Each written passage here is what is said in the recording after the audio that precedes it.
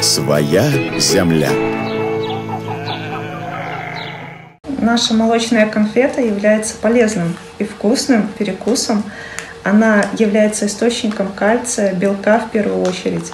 Белка здесь от 20 до 22 грамм в 100 граммах готового продукта. А признайтесь, Анна Николаевна, разных цветов эти конфеты.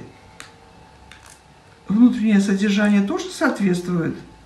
А, да, здесь, например, банан, он имеет а,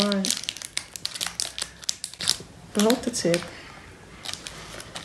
Это есть искусственный ароматизатор? Почему искусственный? Пищевой, натуральный ароматизатор и краситель. Так, какие вкусы еще выбрали вы для наших детей и ваших потребителей взрослых? А, кокос, грибы, классическая чистая конфета. И у нас есть еще малина. Она тоже имеет розовый цвет, соответствующий э, ягоде. Это уже окончательные варианты или, возможно, продолжение вкусовых особенностей новинки? А, мы рассматриваем расширить линейку, а, разрабатываем уже новые вкусы наших конфет. В каком времени это возможно? Уже в скором времени вы увидите на полках. Руслан Викторович, куда отправляете сладкую продукцию, где востребованы конфеты из сухого молока?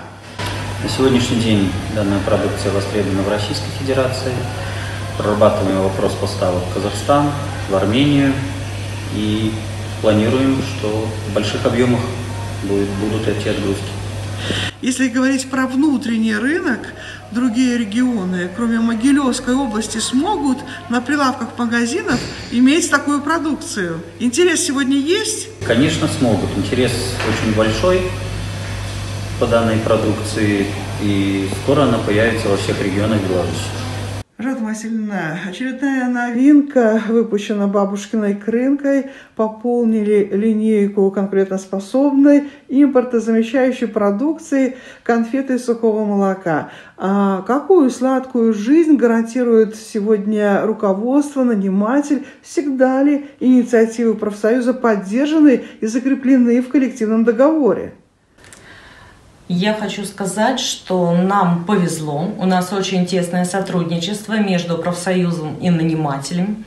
Наш коллективный договор наполнен э, большим количеством бонусов, сладких бонусов для наших работников. Э, ну, могу назвать лишь некоторые аспекты. Так, например, э, компенсация 30% стоимости путевки, приобретенной в санатории Республики Беларусь за собственные средства работников предполагается нанимателем.